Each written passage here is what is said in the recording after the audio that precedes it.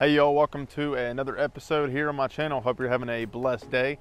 Today I'm going to talk to you about starting a garden and what not to do. So this will actually be my second garden to start on two separate properties. I did one with raised bed style in a small town home and now I'm here on our rural property where we have it expanded and, and built out a larger garden.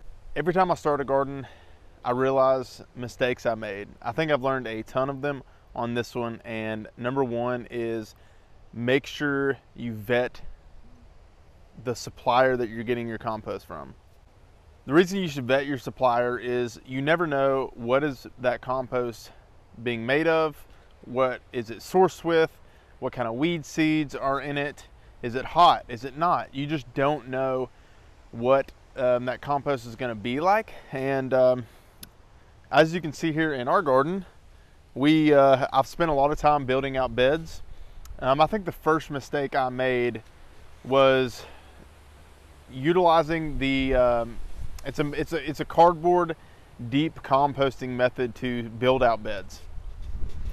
As you can see, basically that method is laying down a layer of cardboard and from there putting about six to eight to 10 inches of compost on top of that when you have invasive grasses and weeds like we do and a lot of people have, um, you know, crabgrass and Bermuda is gonna kind of laugh at your cardboard. And I think I'm learning that even um, here as I've built out all these beds with the deep mulch system. This little guy here,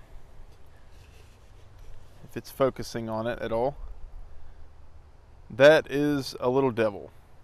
This is called nut sedge and it actually came in our compost. Um, I, did not know that the compost supplier that I got this from actually had this little um, seed in it. Um, it's essentially looks like a little nut and it spreads like nothing else. And I've got thousands of these in the compost, which is pretty irritating when you purchase compost and you spend $700 on 13 yards of it and it has an invasive grass seed in it. Incredibly invasive. So mistake number one was that for me. Now I felt like I vetted the company that sold me this compost pretty well. However, I didn't vet them enough um, because I've got this crap in it, which is next to impossible to get rid of.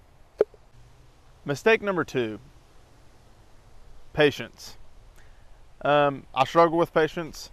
I think the only way to truly start a garden bed incredibly well without dealing with all the invasive grasses and weeds is to either tarp your garden plot. So for us here, it would be to tarp this entire section for I'd say a year um, and let it kill off the grass, kill off the weed seeds. Um, man, I really think that that is probably the number one best method if you're willing to wait that long.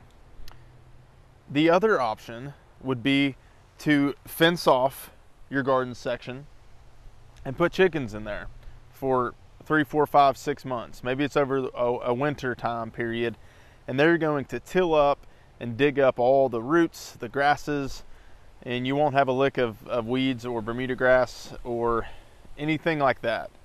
However, they don't really eat these big, large nutsedge seeds. So I'm gonna have an issue there. But I have a buddy that has said that ducks will actually eat the nutsedge.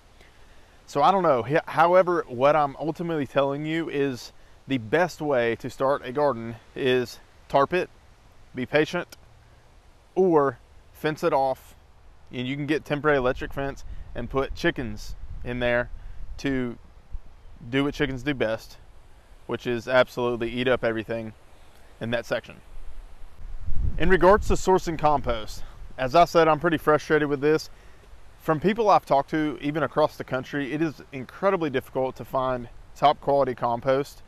Um, and it really poses a, a, a, true difficulty when people are trying to start um, quality gardens that have quality soil and don't have, you know, all kinds of invasive seeds and things in it.